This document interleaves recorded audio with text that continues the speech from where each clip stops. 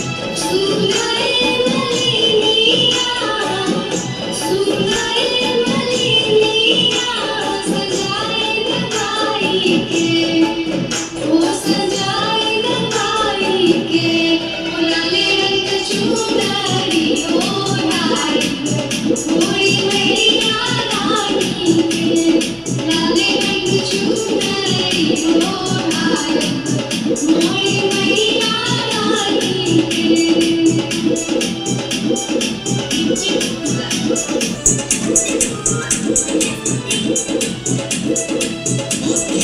recovery is key. Hard work, not culture.